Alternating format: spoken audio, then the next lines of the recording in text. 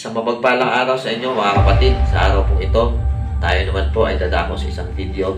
Ah, akin ko pong ituturo sa inyo kung paano po ba i-install ang shower natin. Pero bago po tayo magsimula, introhan muna natin.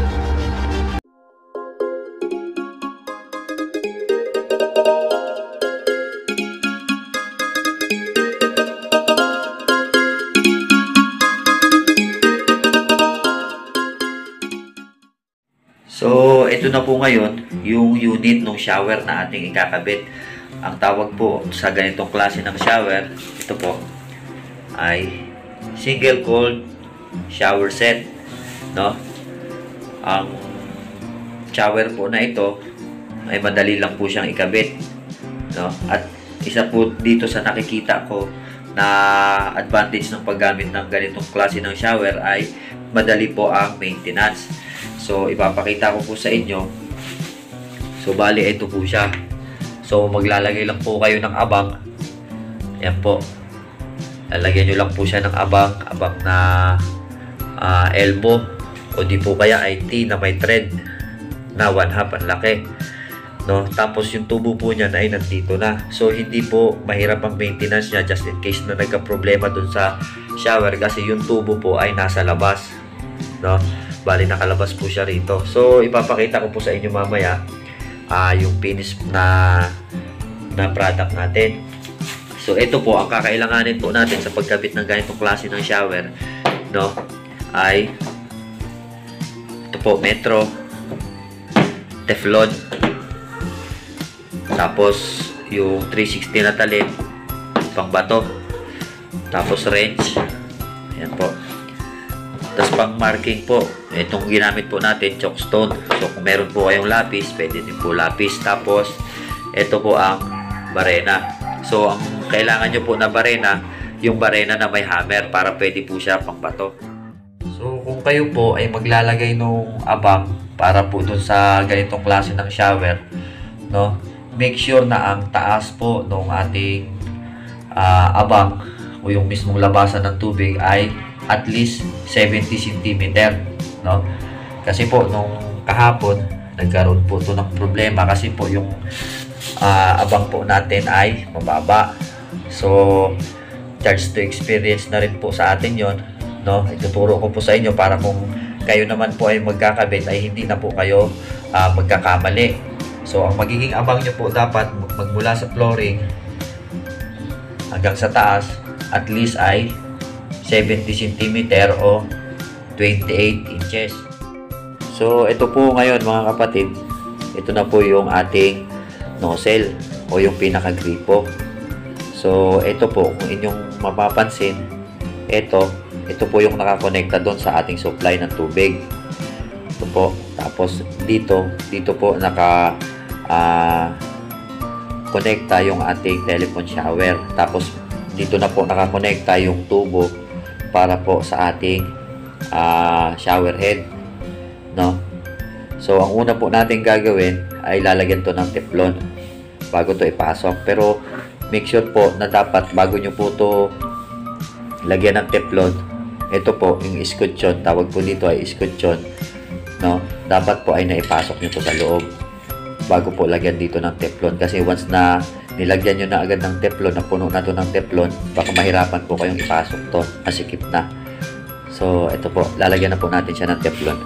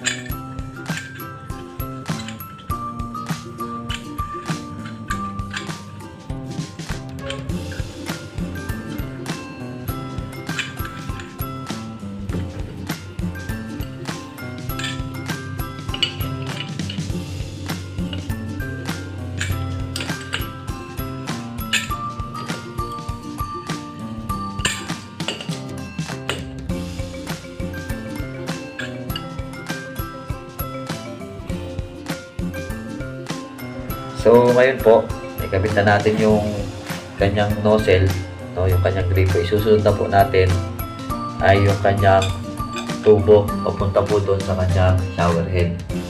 Yan po. Yan. Kukonek nyo lang po yan dyan. No? Ah, meron din po yung instruction manual. No, pwede nyo rin po siyang sundan. So, ayan po. So, ito na po kayo mga kapatid kung inyong pong nakita, no? Ah, nakakabit na po yung tubo ng ating shower. So, ang sunod po natin na gagawin ay ikakabit naman po itong holder. Holder po ito ng ating ah, telephone shower o ah, hand shower. Yan po. So, ito ipapasok, itong butas, ito po, yan, yung butas na yan, papasok po natin dito. Yan. Ito po ngayon, papasok na po natin yung holder. So, ito po, pipindutin nyo lang to para pumasok kasi yan po ang kanyang lock. Yan na.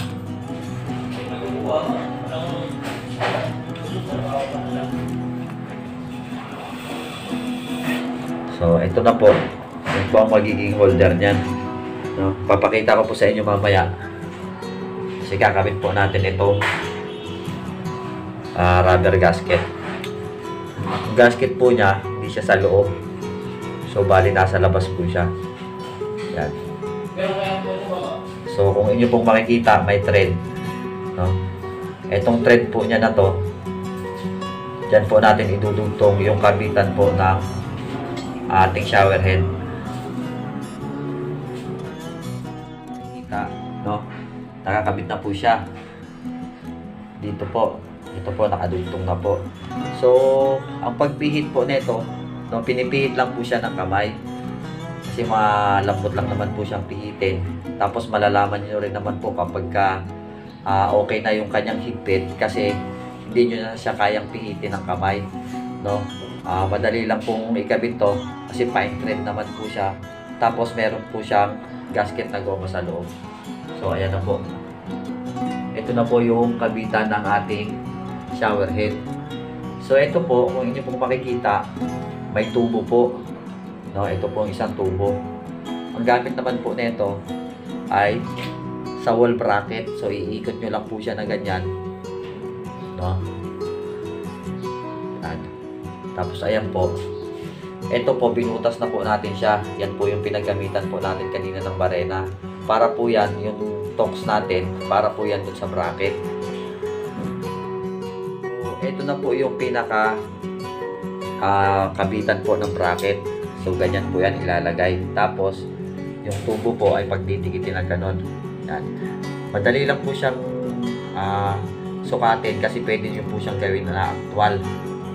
Actual po ang pagbutas nyo po ng screw. Ayan. Kung inyo pong mapapansin mga kapatid, ito may maliit. No? Yan po yung maglalak.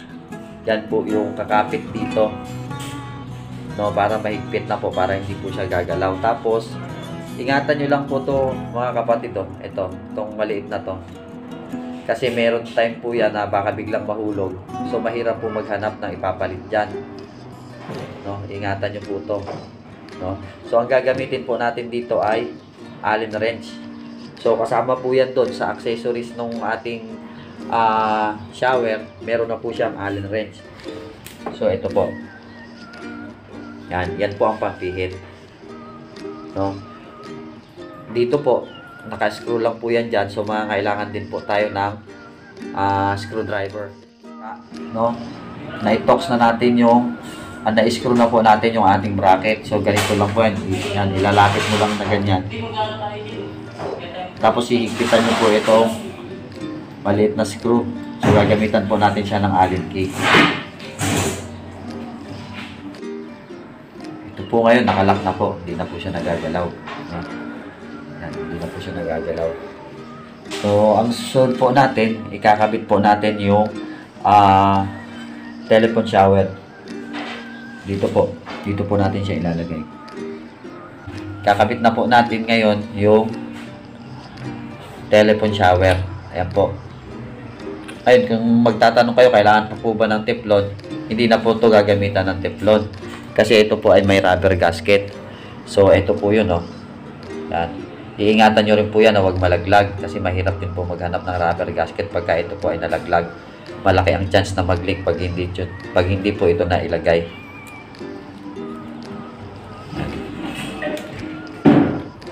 So, ito. Yan.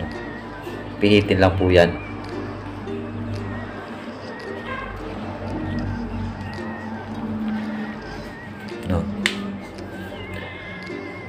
Di po kailangan gamitan to ng wrench. Kasi ito naman po ay naka-rubber gasket. So, pag pinihit nyo na ganun at matigas na siya, yan, okay na po yan. Ibig sabihin, lumapat na po yung rubber gasket dun sa thread. So, ito po yung kanyang dulo. Yan. Tapos, ito po yung kanyang ah telephone shower o hand shower.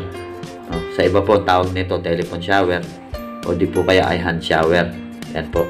Dito lang po ulit i-connect yan.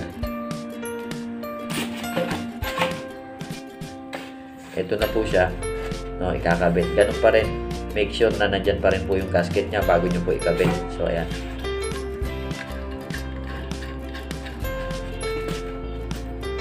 Yan, mahigpit na po. Ito na. So, dito po. Yan.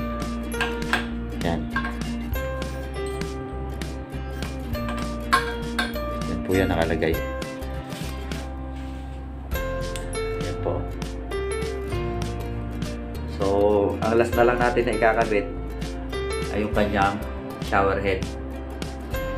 So, ayan po.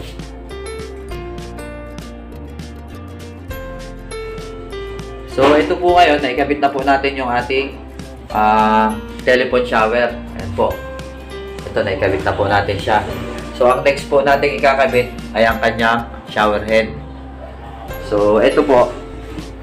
Ito po yung kanyang shower head. Kung inyo pong mapapansin, no?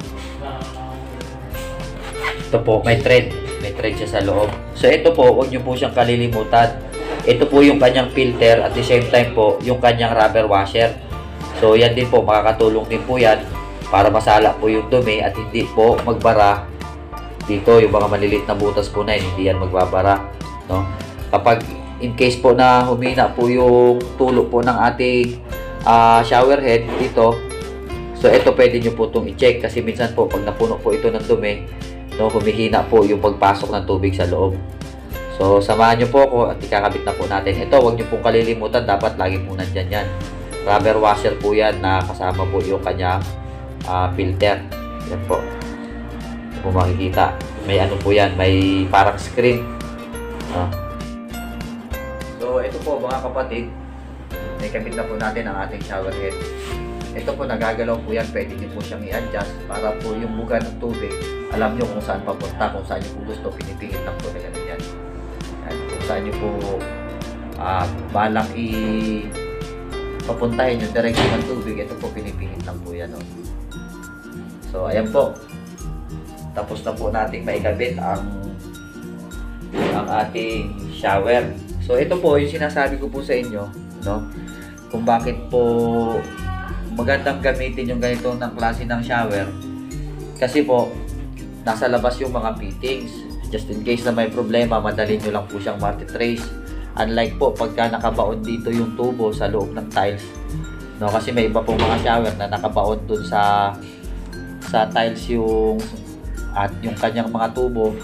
Pagka nagka-problema, medyo mahirap po siya na ah, i-repair. Unlike yung ganito, yung naka-expose.